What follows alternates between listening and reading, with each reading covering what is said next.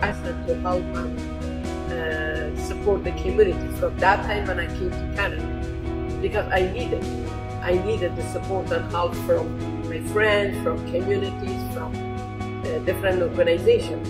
From uh, Ministry Park and Health Center, we are doing so many programs. We would love to other community to know how we are, you know, working together as a friend, as a you know neighbor. We just help out our, our community.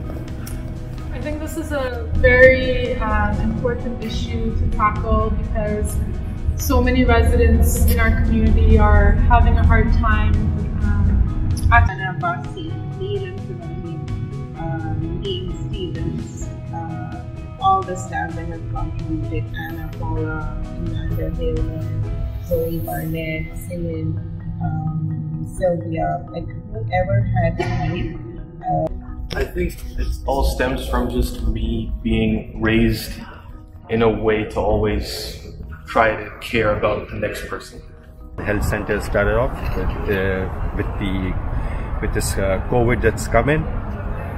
Uh, they're helping to uh, many people have been jobless and they can't make ends meet. So to put something on the table, the elderly, they all need a helping hand. So that's why I work at the Fem- Flemingdon Park. Mm-hmm. I need to first say that I'm really glad to be a part of the food distribution, uh, which is taking place at Angela James Arena.